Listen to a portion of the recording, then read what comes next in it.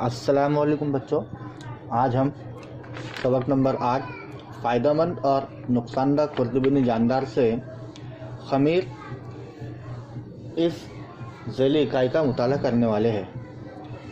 खमीर, जिसे आप यिस्ट के नाम से भी जानते हैं, एक तरह की फफूंद होती है।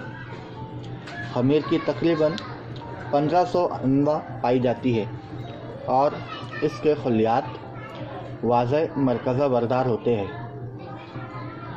खमीर के खलियात किसी कदर बैजवी और लम्बुतरे होते हैं। माइक्रोस्कोप में या खुर्दबिन में इनका मुशाहिदा करने पर ये हमें बेरंग या शफाफ नज़र आते हैं।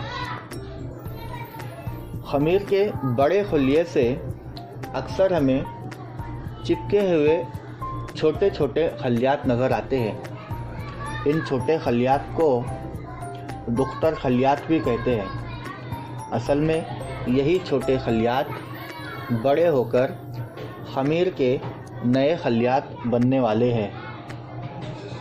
खमीर में इस तरह का गैर जिनसी तौलीद का अमल होता है और तौलीद के इस अमल को अलियाव या बडिंग कहा जाता है। खमीर फपूंद होने की वजह से ये कार्बनी अशिया से अपनी गज़ा हासिल करती है।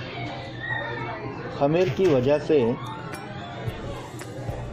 कार्बोहाइड्रेट, अल्कोहल और कार्बन डाइऑक्साइड में तब्दील किया जाता है।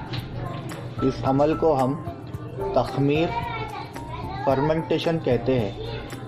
इसी अमल की वजह से पाव फूले हुए तैयार होते हैं और कारखानों में इसी अमल की वजह से वाइन और अल्कोहल तैयार की जाती है।